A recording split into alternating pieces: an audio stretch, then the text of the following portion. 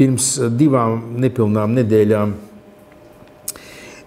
Latvijas rādio valdes locekli Roķi skaļi paziņoja, ka viņa pārtrauc sadarbību ar Ventspils pilsētas domu saistībā ar muzikālo banku. Nu, tagad ir izpaudušies visi, kam nav slinkums, un šajā sakarā es gribu pateikt, ka ir dziļi nožēlojami, ka Latvijas rādio valsts rādio, valsts, Latvijas valsts rādio pirmā persona, tas ir valdes locekli, viņa ir vienīgā tur, tad augstākā vadītāja, kas ir arī valsts amatpersona, ka roķi klai melo. Ventspils pilsētas domei ar Latvijas valsts rādio nekādu attiecību saistībā ar muzikālo banku nav. Nekādu attiecību. Līdz ar to nekādu sadarbību ar Ventspils pilsētas domi Roķis kundze pārtraukt nevar, jo nevar pārtraukt to, kā nav. Tas tā kā, ja nav laulībā, nu tad nevar to šķirt. Un Roķis kundzei tas ir jāsaprot. Ir dziļi nožēlojami, ka uh, Latvijas valsts televīzijas valdes vadītāji, Roķi, nodarbojas ar politisko propagandu, klāji demonstrē savu uh, negatīvo politisko attieksmi pret Ventspils pilsoņu kopuma izvēli tikko notikušajās pašvaldību vēlēšanās. Pēc būtības tā ir rupja iejaukšanās vēlēšanu rezultātos, mēģinot tos ietekmēt jau pēc vēlēšanu notikšanas.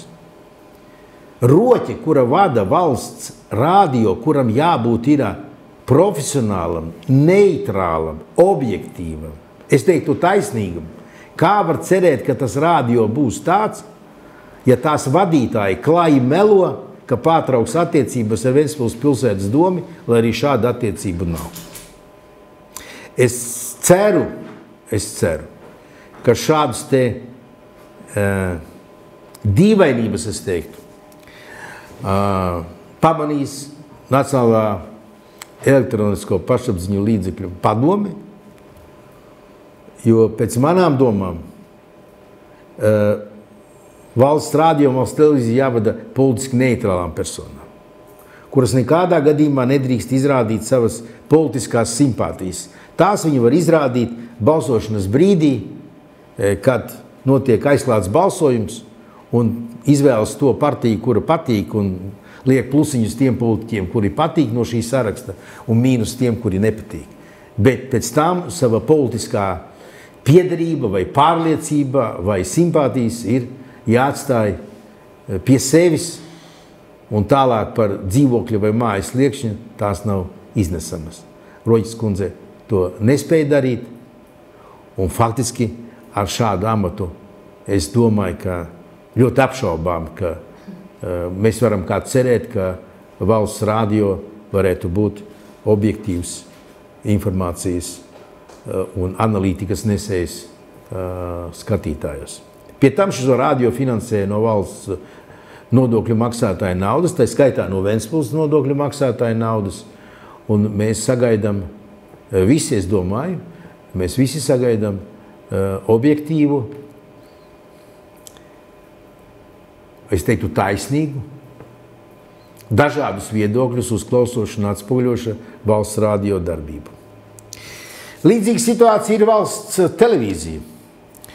Arī Latvijas valsts televīzijas vadītājs paziņoja, ka pārtrauc sadarbību Ventspils pilsētas domi.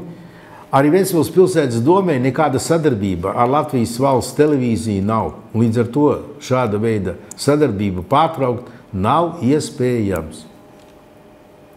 Mīļie vadītāji, nu pirms jūs plēšat muti vaļā, nu noskaidrojiet, ar ko jums ir attiecības un ar ko nav attiecības.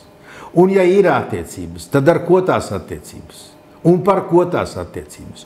Un uz cik ilgu laiku tās attiecības? Un par kādu naudu, un par kādu summu, un uz kādiem noteikumiem? Nu, esat profesionāļi. Nevis esat emocionālas tirgus sievas, kuras tirgo cāļus un bļaustās, pēc iespējas pievēršot sev lielāku uzmanību, lai saskriena apkārt pircēji. Nožēlojami. Lūdzu, ja tā, kā, tā muzikālā banka notiek Ventspilī, tad, tad, tad līguma bijis ir tikai uz to laiku, vai kādā tā sadarbība bijis? No... Latvijas rādio līgums uh, ir nevis ar Ventspils pilsētas domu, bet uh, uh, viņiem ir līgums ar privātu firmu. Organizāciju? Jā. Ar privātu firmu. Mums nav nekāda attiecība. Tad turpmāk viņiem ir jāpiespiež slēgt līgumus ar firmām, kuru apsola, ka nesatarbosies ar Ventspils domu kaut kā tam līdzīgi. Jāizpēt visu ne, nu, Tagad jau viņi tur aiziet tālāk, kad, kad vispār, ka Latvijas valsts radio un Latvijas valsts televīzija nedrīkst sadarboties ar pašvaldībām. Jo, zināt, kā šodien ievēl vienus, rīt ievēlēs citus.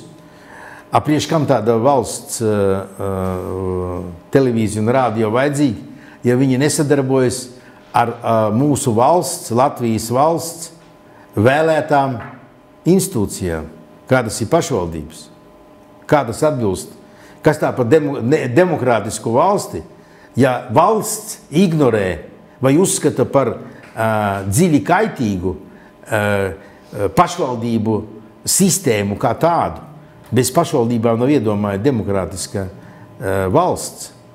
Pie tam Latvija ratificējusi pašvaldību, Eiropas pašvaldību hartu. Ratificējusi. Tās ir starptautiskās saistības. Šo saistību izpildē jāpiedalās arī Latvijas valsts rādio un Latvijas valsts televīzija. Mēs vēl padomāsim un novērtēsim, vai šajā gadījumā ja būtu mums šīs attiecības, tad vēl būtu iestājusies situācija, ka viņi pārkāpj šo Latvijas starptautiskās saistības, bet mums nav attiecību. Ventspils pilsētas domē, es domāju. Ja. Nu, Latvijas radio un Latvijas televīzija sola izstrādāt tur jaunas pamatnostādes sabiedriskajiem mēdījiem sadarbībai ar eh, pašvaldībām. Jūsuprāt, eh, kāds tas varētu izskatīties, tas modelis? Salīdzinoši ar esošo, ja jau. Jā. Jūs saprotat, kopš pastāv neatkarīga valsts, eh, ļoti daudzām pašvaldībām ir sadarbība ar valsts rādio un valsts televīziju. Tā skaitā Ventspilī. Tā skaitā Ventspilī, bet citos projektos. Un šī sadarbība vienmēr ir bijusi brīvprātīga, apusēji izdevīga, ja? un es teiktu profesionāli. Un nekādas problēmas nebija pirms Latvijas valsts televīzija un Latvijas valsts radio nekļuva par politiskās ruporu atsevišķu politisko spēku rokās. Jo šobrīd Latvijas valsts rādio un Latvijas valsts televīziju kontrolē Džordža Sorosa uh, sistēmā, koruptīvajā sistēmā ietilpstoši cilvēki, Tā skaitā tie, kas ir tieši politikā, tieši politikā, nu, tādi kā Čigāne, Viņķele, Loskutovs, Judins, tie, kas vēl tikko bija politikā, tādi kā Sarmīta Elert, bet kurus vēlētāji izšvilpa, tādi, kas ir viņiem pietuvināti, un polit, polit žurnālisti, tādi kā Eh, kas eh, Sarmīts Elertis, eh, rokas puiši kā Ločmele, Ozoliņš, Rauceps,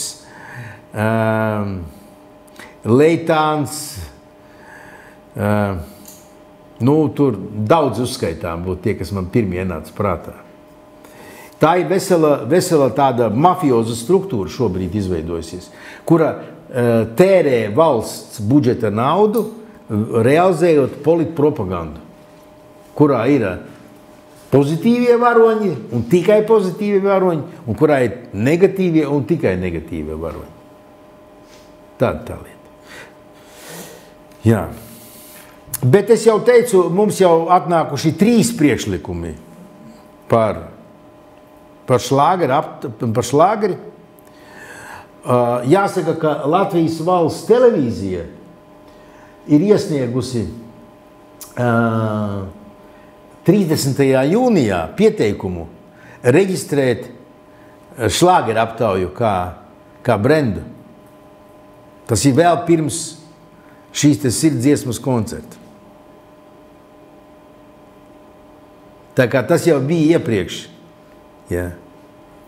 Un tas nozīmē, ka viņi ir nonākuši pie secinājuma, ka tā sirds dziesma ir izgāzusies, un viņi grib paņemt to šlāgeri nosaukumu kā savu.